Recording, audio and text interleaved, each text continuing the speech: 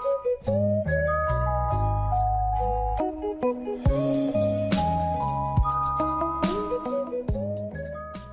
What is up guys, Tech James here. So Infinity 2.0 has finally been released for 6.60 and 6.61. The cool thing about Infinity 2.0 as it works on every single PSP. Now if you guys are not on 6.60 or 6.61, please do not follow this video. Please update before you try and install this. You won't believe the amount of people that have bricked their PSPs over something really silly. So yeah, make sure you're on 6.60 or 6.61. You can have any PSP and then you'll be able to follow this video video. I'm using the PSP Go.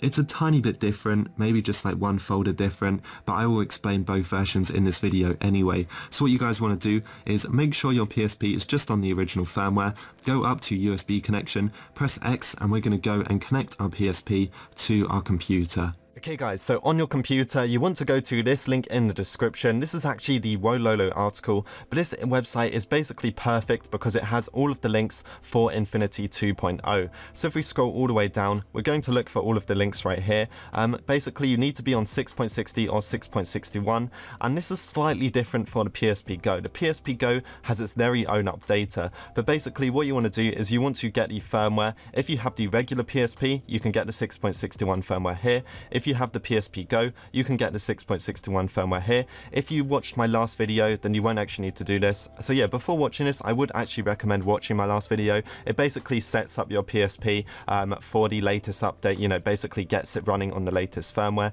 But if you're on 6.61 or 6.60, you can basically follow along with this video completely fine. Now you also need to use the custom firmware. You can choose LME or Pro C2. I would recommend Pro C2. I really like this one. LME has been so glitchy for me in the past, I kind of just avoid it from now on. So I'm going to get Pro C2 and I'm just going to go ahead and download this. They've actually linked it for us on SendSpace, so that's perfect. All you want to do is click the blue download button and just wait for Pro C2 to download. I did actually click it. What is going on? There you go, it's downloaded. Okay, so next we need to actually get the Infinity installer. So if you click on this link here, it's going to bring us out to the Infinity page. You can read a bit about it here, but all you want to do is scroll down, look at the download section, and we're going to grab Infinity 2.0. So we're going to click on this, and we're going to download this zip file. Next, we need to get the Chrono Switch downgrade. And now, I don't know if I'm going to use it in this video, but it's just always useful to have. So go to this link, click on download, um, click on download. Just wait for this to download and there you go. We should actually have three or four files depending if you got your firmware as well now the installation is a bit different for each console if you're using the PSP Go you need to browse the PSP Go folder and find the eboot.psp if you're using any of the other PSPs you need to browse the standard folder so what we're going to do is we're going to go into our downloads folder and we should have all of these files what we're going to do is select these two so um, 6.61 Pro C2 make sure to select this one and Chrono Switch. Select both of these, right click and just select extract here. So you can just extract them right here. Once that's done, we can actually delete the zip files. We need to get Chrono Switch, we need to put that inside a PSP. We then need to put Chrono Switch inside of game and it should look exactly like this. You can go into it and the files will actually be in there. Now for the Infinity folder, we need to double click on this and remember what PSP have you got. I've got the PSP Go, so I'm going to go into the PSP Go folder. We need to copy out the eboot.pbp.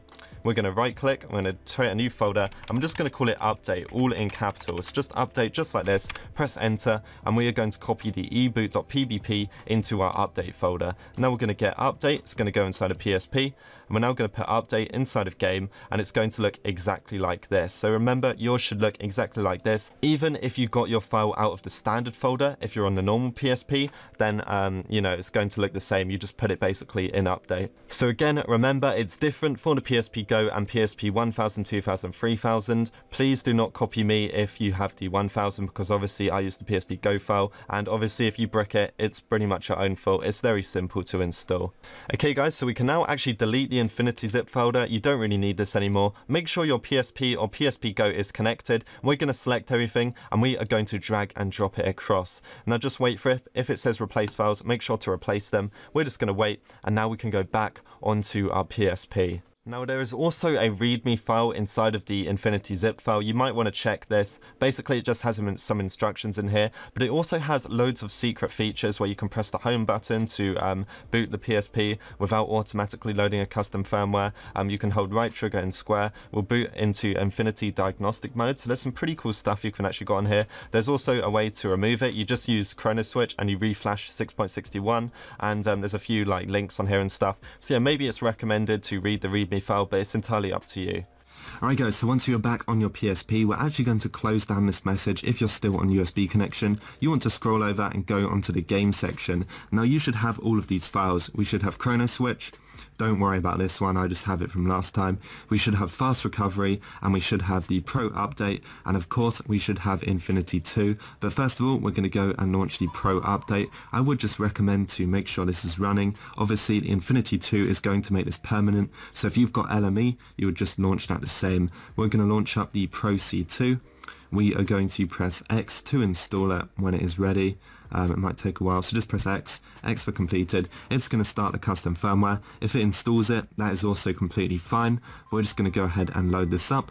And once this is done, we should actually be able to run Infinity 2. Um, but before you do that, you always want to check because of course you do not want to brick your device. You want to scroll over, you want to go into the system settings, you want to go down to the system information and make sure it says Pro C at the end. Then we're going to go back, back again we're going to go onto the system storage and we're going to boot up Infinity 2. This is a lot easier than it was last time. Um, if you watch my last tutorial on this, so Infinity 1, it was quite a bit more complicated to set up. This one seems to be quite simple. We're just going to go ahead, launch this up. Obviously, if you want to downgrade, you just use Chrono Switch. And then what you have to do guys is press X to install Infinity. It's going to say installing, please wait, installation, installation complete, press X to reboot. Obviously your PSP is going to restart and let's have a look. Has it installed all of the other files? I'm kind of interested to see if it's done that. System storage.